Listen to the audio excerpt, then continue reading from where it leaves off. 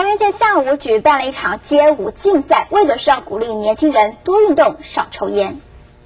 街舞大赛首先登场的是闪亮三姐妹 Rainbow。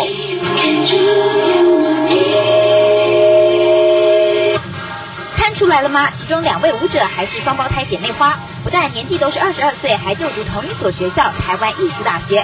而旁边另一位舞者则是淡江大学中文系的高材生。跳舞跟课业可以兼顾吗？可以啊，当然可以。跳舞的孩子不会学坏，名字大家都知道了。画面右边的姐姐名字还取得跟艺人蔡依林一模一样，不过身材更劲爆。除了大学生，书读得好，舞跳得更好的大有人在。